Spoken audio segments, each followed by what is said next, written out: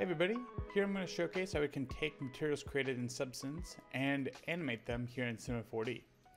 So to start off, what we're going to do is we're going to go up here to our extensions and go to Substance Engine. In here we have the Substance Asset Manager. So this Asset Manager, we can drag and drop SBSARs into here, and these can be created in any of the Substance Suite programs. All the parameters are down here in the bottom right hand corner, and any exposed parameters, either created in Designer or Sampler, they can all be animated here in Cinema 4D. So you can see down here, I have a few of those parameters already keyframed um, here on my properties menu. And all I've done is at keyframe 0, I have the material set to default. And we'll take a look at that in a second. And at the far right, at frame 150, I have them all saturated and all the color values shifted. So in this render, you can see what that looks like at, at keyframe 150. We have this nice vibrant color for our fabric here. And if we go ahead and we pause this render and we take a look at the state of the material at keyframe 0, you can see that all of our properties down here in the bottom right hand corner are back to what they originally were when we imported in this fabric from our substance material. So we're going to hit play on our render view here and we'll see that our material is now back to that more muted kind of natural color tone uh, version of that fabric. Cool, so we've got this effect looking good and again for reference, for animating those materials, any parameters down here, bottom right hand corner, any of these options, we can go ahead and keyframe animate them, or we can use any of the other animation features in Cinema 4D itself. Um, so all of your material parameters can be animated. Um, so that's super handy. And just for a showcase here, let's go ahead and take a look at what this looks like somewhere in between our timeline. So let's take a look at, at 75 here. We'll hit play on our render view. And you can see that um, we're not just going and swapping from like one state to another. The animation timeline here actually will transition from uh, you know one state to another, and we'll get all the variations in between here. So we're getting this kind of uh, not quite vibrant, not quite saturated version of that material that we see at frame 150, uh, but we're getting that kind of middle state there. Cool. So now let's talk about the other effect that we have in that video. So that effect is actually controlled by a vertex map.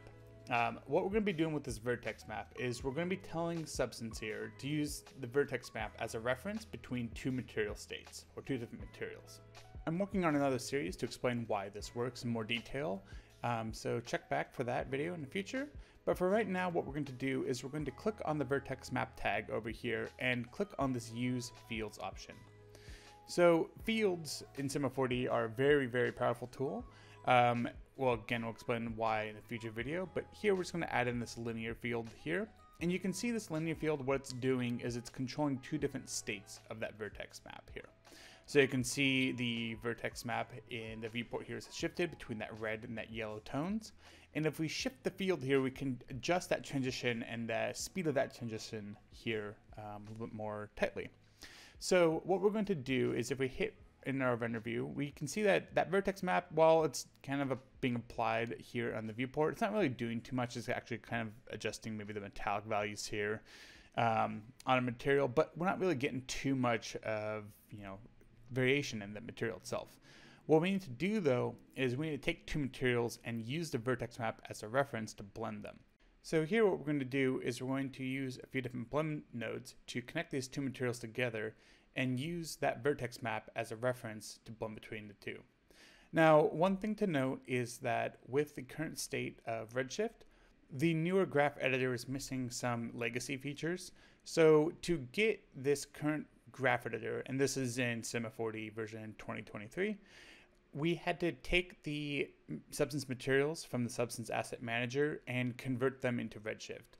When we do that conversion, we get the old graph manager back, and so we're able to reference some of these legacy nodes and legacy features. And as of this video and as of this recording, that's what we'll need to do to get this effect to work. So here I have that vertex attribute here, and I'm going to plug it into my blend color for both my blend material and blend displacement here. And what we're going to do is we're going to take those two blends and we're going to output them into our surface and our displacement for our final view. Now, one last super important thing, that we need to do is we actually need to go and click on this vertex attribute here and we need to reference that vertex map here in the attribute name. If we don't do this, the vertex attribute doesn't know what it's referencing and it won't really do anything at all. So if we don't have that plugged in, we're not going to get this effect. But if we get it plugged in right, then we can see that we're getting that material transition to apply. And again, what's happening there is we're taking that vertex map, we're using that linear field to control the transition of those vertex colors.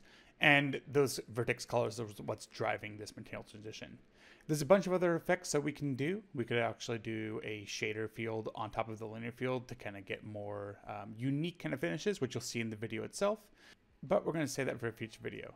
If you'd like to see a full step-by-step -step of how I created the scene and the animation, please let me know, and look forward to seeing you all in the next one.